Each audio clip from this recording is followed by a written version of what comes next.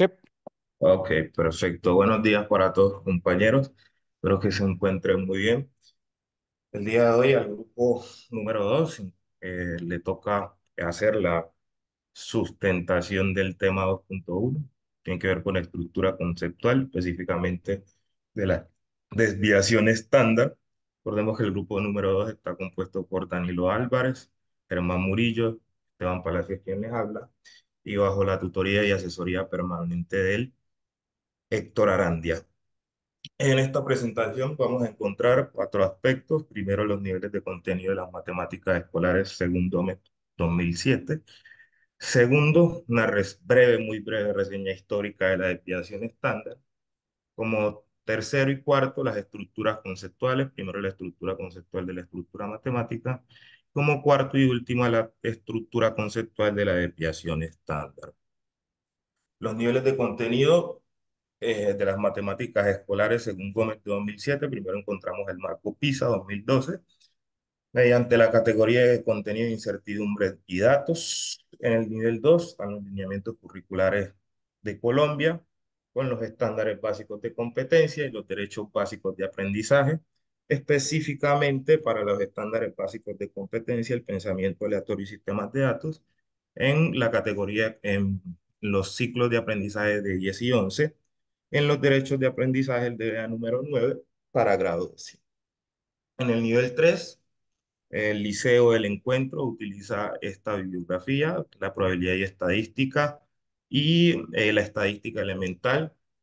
Mm, además de eso, hay un profesor especialista o especializado en estadística con maestría en la Universidad de Goiás en Brasil, con maestría en matemáticas en la Universidad de Goiás. En el nivel 4 encontramos el plan de área del Liceo del Encuentro, el cual en el segundo bimestre, específicamente la segunda unidad, eh, los chicos eh, se les enseña lo que tiene que ver con las medidas de tendencia central y las medidas de dispersión.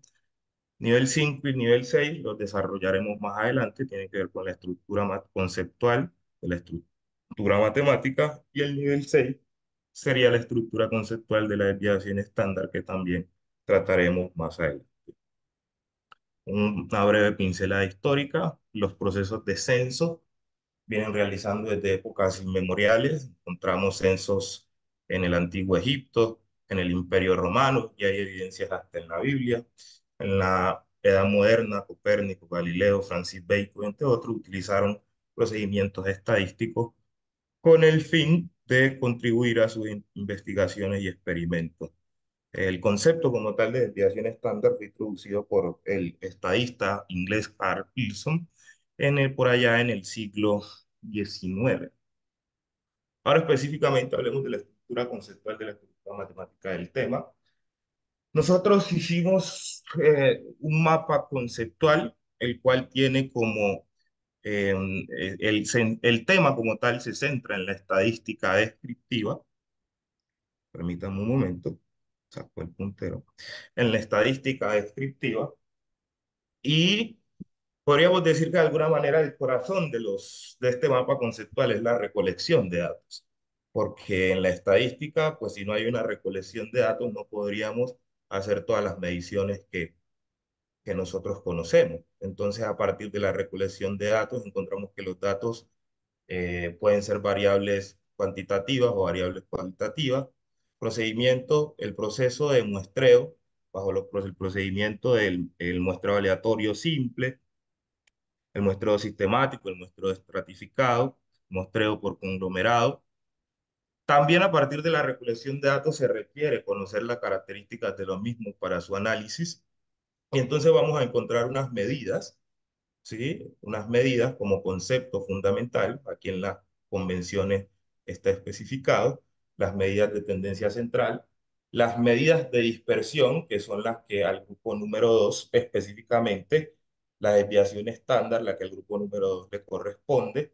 Además de la desviación estándar, encontramos el rango, la varianza, la desviación media, y vemos que en el uso de variables cuantitativas, los espacios muestrales, podemos hacer cálculos de probabilidad, probabilidad simple, probabilidad conjunta. Con respecto a la estructura conceptual de la desviación estándar, vemos que este primer mapa conceptual es muy general. Este segundo mapa conceptual es específico, los temas que se relacionan con la desviación estándar. Nuevamente tenemos que colocar como centro o como corazón del mapa conceptual a la recolección de datos. Esa recolección de datos, esa recolección de datos la hacemos mediante el muestreo. Ese muestreo encontramos que acá en este mapa conceptual ya está un tanto más desarrollado. Está el aleatorio, el estratificado por conglomerado, sistemático, no probabilístico, por conveniencia, por cuotas, por juicio y por bola de nieve. Y también hay unas variables. Estas variables que están en, la segunda parte del mapa pueden ser numéricas, categóricas. Dentro de la numérica encontramos discretas, continuas, nominales y ordinales. Ahora, por acá, por este sector del mapa conceptual aparecen lo que son los parámetros estadísticos. Estos parámetros estadísticos que nos sirven para entender los datos y para, hacer, y para luego sacar conclusiones a partir de ellas. Y esos parámetros estadísticos se, se, em, em, se dividen en medidas de centralización, que son la media, donde encontramos la media ponderada, la media armónica, la media aritmética. Encontramos a la media y a la muda. Hay unas medidas de posición, los cuartiles, deciles y percentiles, y donde nos interesa específicamente por acá, por este sector del mapa, están las medidas de posición, el rango, la coeficiente de variación, la desviación media y el tema que le corresponde, el tema principal del grupo número 2, que es la desviación estándar. Desviación estándar las podemos obtener a partir de una muestra, desviación estándar de una muestra y desviación estándar de una población. Aquí encontramos procedimientos secundarios que eh, son fundamentales en las medidas de dispersión, como son los datos individuales, la medida aritmética, la diferencia absoluta, el promedio, em, em, el promedio de las diferencias absolutas. En la segunda parte del mapa conceptual, quiero que miremos por acá, esta línea que viene por acá, es la que relaciona los parámetros estadísticos, esta que viene por aquí, compañero, porque el mapa nos tocó partirlo, dividirlo en dos partecitas. Esta línea que viene por aquí es la relación de los parámetros estadísticos con la probabilidad y la estadística inferencial. Entonces, en las distribuciones de probabilidad encontramos conceptos como las distribuciones discretas, como son la binomialidad y Poisson, distribuciones continuas, como la famosísima distribución normal de la campana de Gauss, y la distribución exponencial. En los procesos de inferencia estadística podemos realizar eh, cálculos de intervalos de confianza, prueba de hipótesis, análisis de regresión, análisis de correlación y análisis ANOVA.